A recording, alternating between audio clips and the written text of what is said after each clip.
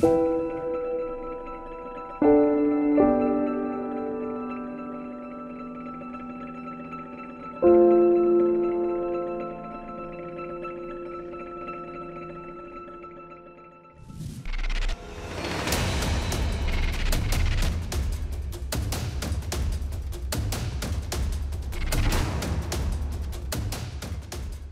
was long. Um, this morning was rough. Uh, opening the track, uh, the fog was so bad uh, you couldn't really see much further than two meters ahead of you. So uh, that played a big part in uh, trying to open the stage. And uh, the rain from the last few days completely washed away the the tracks. So you know it, it, it, was difficult for sure. I, I, went down in the sand trying to trying to clean my goggles because you got to clean your goggles every 30 seconds, you know, to to get vision. And all of a sudden, you know, I Paulo's next to me, and uh, we just kind of rode and had fun.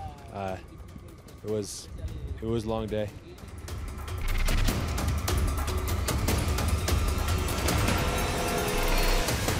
After 10 or 15 kilometers, I have to put out my Google and I, I rode uh, all the stage without Google and was difficult. And the second stage was uh, was good on the road, uh, gravel road and fast and yeah, I think uh, this part was uh, funny.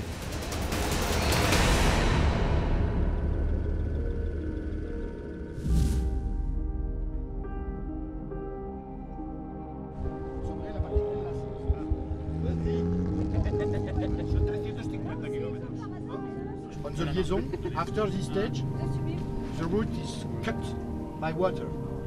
Okay? For all. Assistance, all.